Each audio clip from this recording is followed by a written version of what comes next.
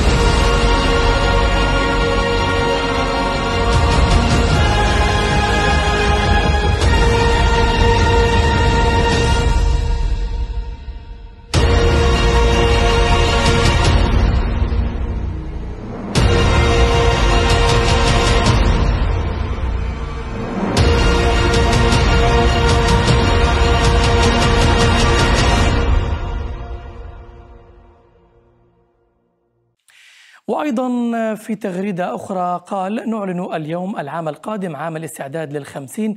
نريد تطوير خططنا ومشاريعنا وتفكيرنا قبل خمسين عاما. صمم فريق الآباء المؤسسين حياتنا اليوم. ونريد العام القادم تصميم الخمسين عاما القادمة للأجيال الجديدة. في 2020 نريد أن نستعد لإطلاق قفزات في الاقتصاد في التعليم في البنية التحتية. في الصحة وفي الإعلام وذلك في نقل قصة الإمارات للعالم. في 2020 نريد بناء إمارات أو إمارات المستقبل كفريق واحد وبروح الاتحاد وبروح زايد بروح تعشق القمم وبروح تعشق البناء معركتنا معركة بناء مستمرة وستبقى. وأشار أيضا في تغريدة أخرى في عام الاستعداد للخمسين نريد أن نعمل سويا في كافة القطاعات مواطنين ومقيمين لأننا متحدين. نستطيع تغيير المعادلات ونستطيع رفع التوقعات أجواء 2020 قبل يوبيلنا الذهبي في 2021 نريدها كأجواء 1970 عندما كان الآباء المؤسسون وفريق العمل يستعدون لبدء مرحلة وحياة جديدة لهذا الوطن. وأوضح الشيخ محمد بن راشد أنه شهد عام 1970 تصميم الاتحاد مضيفا أنه سيكون في عام 2020 مشرقا أو مشرفا عفوا على فريق لتصميم الخمسين. وقال معي لجنتين واحدة برئاسة الشيخ منصور بن زايد وطبعا لوضع الخطة التنموية الخمسينية وأخرى تضم الشيخ عبد الله بن زايد وشيخة مريم بنت محمد بن زايد للإشراف على فعاليات الاحتفالات باليوبيل الذهبي للدولة.